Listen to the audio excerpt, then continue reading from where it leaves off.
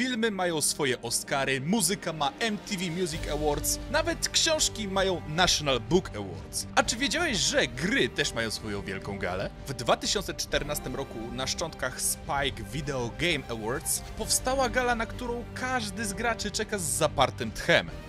The Game Awards. Na tej gali poza niesamowitymi występami, między innymi The Game Orchestra, zapowiedziami i innymi występami, mamy także właśnie nagrody, między innymi Nagroda Gry Roku. A tak przy okazji w 2015 roku tą nagrodę właśnie wygrała nasza rodzima produkcja Wiedźmin 3 Dziki Gon. Kto by pomyślał, że staniemy na gamingowym panteonie. Polska góra! Gala ta odbędzie się 8 grudnia o godzinie 23.30 na każdej większej platformie streamingowej. Za darmo. Kto tym razem wygra?